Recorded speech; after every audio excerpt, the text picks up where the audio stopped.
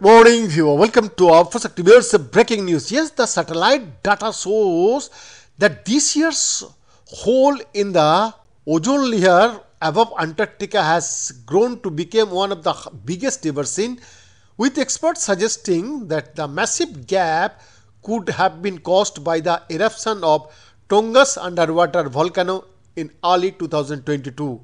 Tonga was rocked by a massive underwater volcano last year in January and the eruption triggered tsunami warnings. The dramatic explosions of the Hunga Tonga Hunga Hapai volcano was even seen in satellite images as the eruption sent smoke and ash into the air. European space agencies Copernicus Sentinel 5P satellite observed that the ozone hole reached approximately 26 million square kilometers in area on September 16, 2023.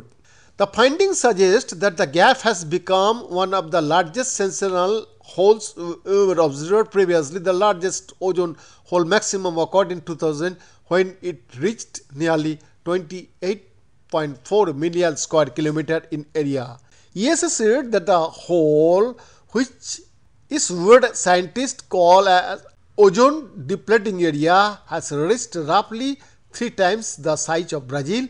The space agency explained how the ozone hole is measured. It noted that the ozone hole's dimensions change frequently with the size of the ozone hole increasing from August through October, peaking between the September and mid-October. The polar vortex begins to weaken and eventually disappear as northern sorry southern hemisphere stratos atmospheric temperature begin to climb, is assured that by the end of December, ozone levels will be back to normal.